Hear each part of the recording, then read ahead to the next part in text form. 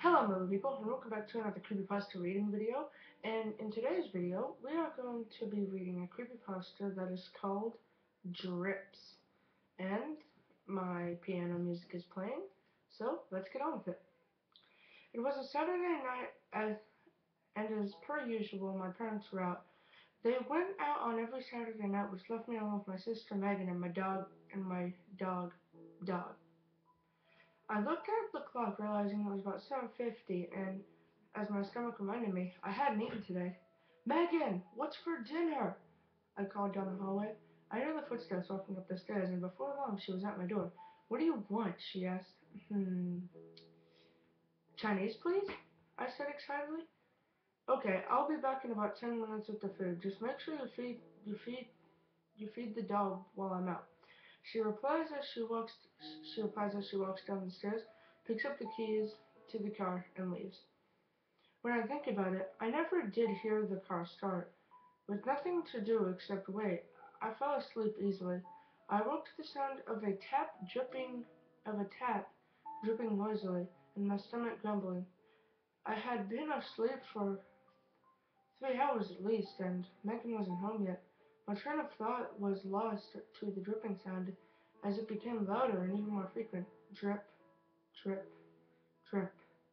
I tried to fall asleep again, but the tap was getting louder and louder. Drip, drip, drip, drip. I walked to the bathroom to turn off the tap making the noise, to find all the taps were off and the sink was dry, but I could, I could still hear it. And now that I think about it, the sound was coming from somewhere downstairs. Drip, drip, drip, drip, drip. I walked slowly down the stairs, and the noise got louder as I did so. I followed my ears, and, and to this day I regret that I ever heard anything, that I ever, that I ever heard that noise, that I ever lived in that house.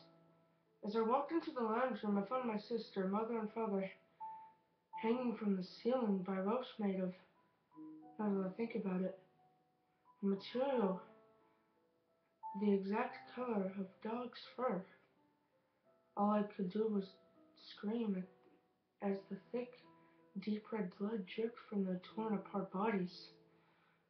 One of my sister's legs just hanging on by a string of gray, decaying skin.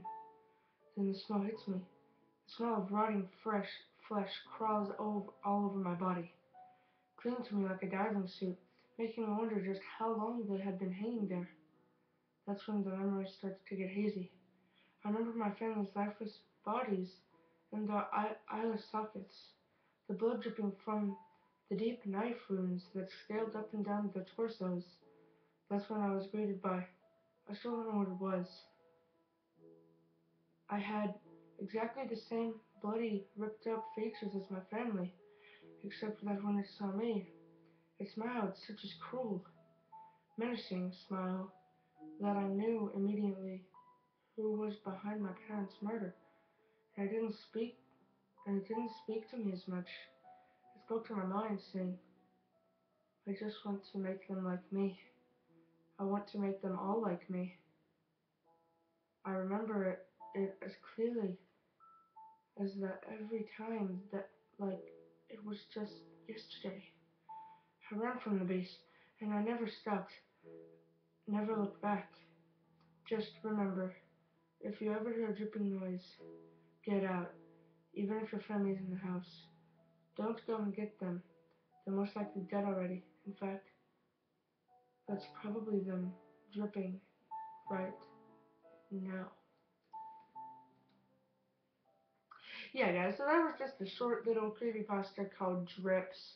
It was it was really creepy, to be completely honest. Like, the kid found his parents dead and a murderer and all that stuff. But, I want to thank you for watching my creepypasta reading video, and I will see you guys in the next one. Bye, guys!